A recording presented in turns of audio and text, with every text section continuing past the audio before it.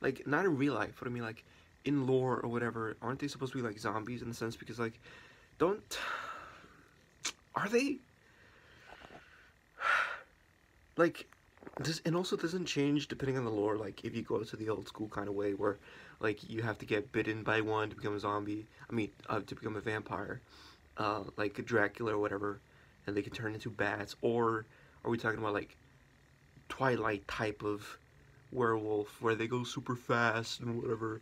Are we talking about Adventure Time type? I, I said werewolf. I mean like, are we talking about Twilight type of vampire where they go super fast and whatever? Or are we talking about Adventure Time type of Marceline type of thing where she was a half demon, half human, and then she became a vampire?